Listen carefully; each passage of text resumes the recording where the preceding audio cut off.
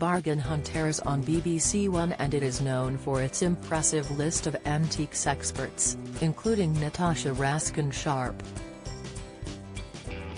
The presenter is recognized for offering up her knowledge on antiques road trip and baggage battles amongst other daytime shows.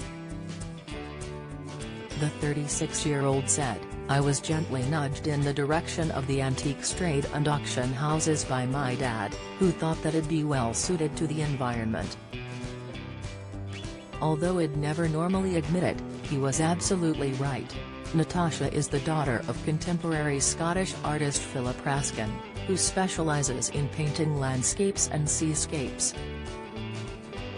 Philip's works have featured in many exhibitions and have been sold all over the world.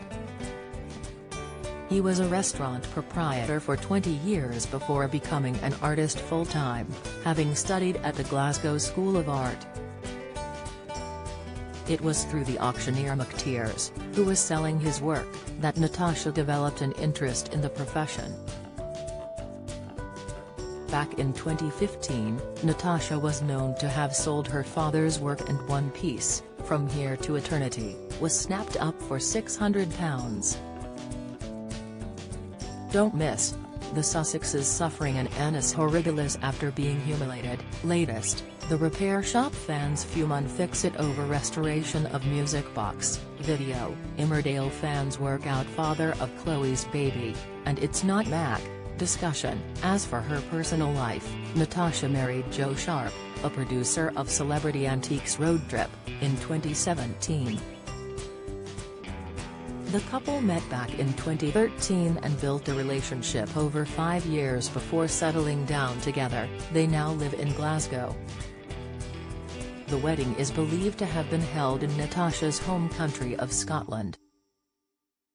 She has provided some insight into her home life, sharing the odd snap of her home on social media posting a photo of her living room filled with books and luscious plants, she tweeted, In our house, my husband takes care of the plants and I take care of the playlists.